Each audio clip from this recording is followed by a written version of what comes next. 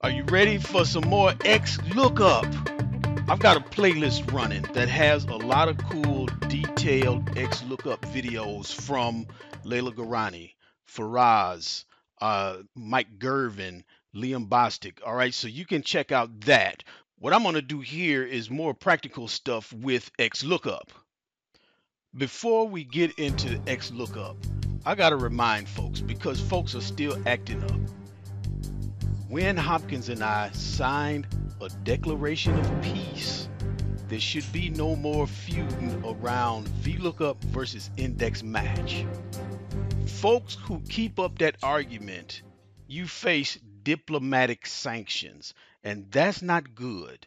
That makes people a pariah, right? Being a pariah is not good. Now, you call up somebody who's a pariah and ask them, hey, what's it like being a pariah?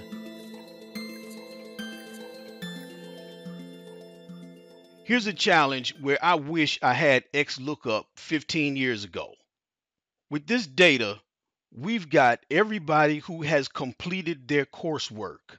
Now we have to figure out if they completed their course within the required 90 days.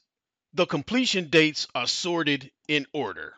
Now, there are two things that make this complicated. One, people taking the courses out of order. Second, some people have to take course 3A, not everybody. Everybody's got to take course 1, course 2, course 3.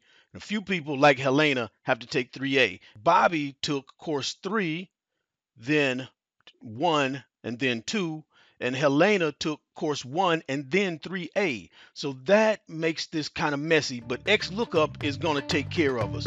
To do this, we're going to start with a dynamic array. We're going to use the unique function to get a list of everybody whose completion we need to investigate. Equals unique. What is our array? The name column.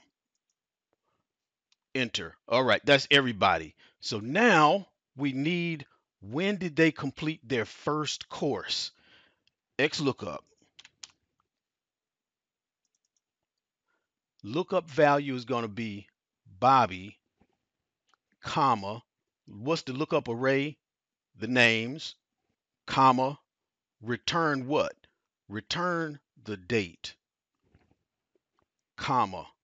We want an exact match so we can put in a zero or we can leave this blank. I'm going to leave it blank so we can actually hit enter right now. Enter.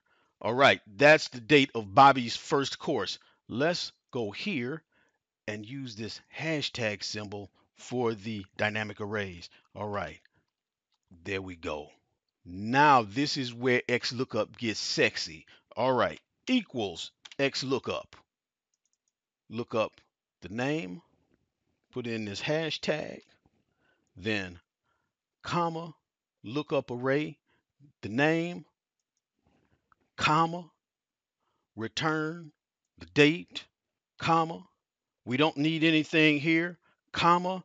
Now we're going to search last to first. So it's going to start at the bottom of the list and capture the latest completion date for each person. Here we go. Negative one Close parentheses. There we go.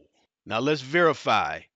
Bobby's first course was 16 June and last course 4 September. That is correct. All right, now we just need to subtract these dates equals this date minus this date.